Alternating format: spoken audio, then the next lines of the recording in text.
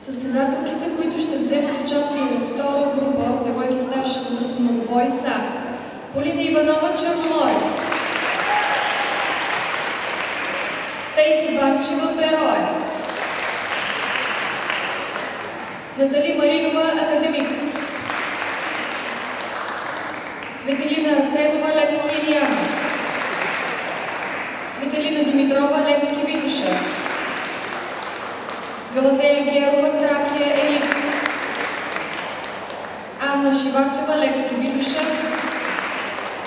Калия Богданова Левски Плюс. Лидия Василева Тракия Елит. Ванеса Пеянкова Академик. Румяна Ганчева Тракия Елит. Йоанна Николаева Чак ДКС. Ралица Нанева Черноморец. Звезда Игнатова Чак ДКС.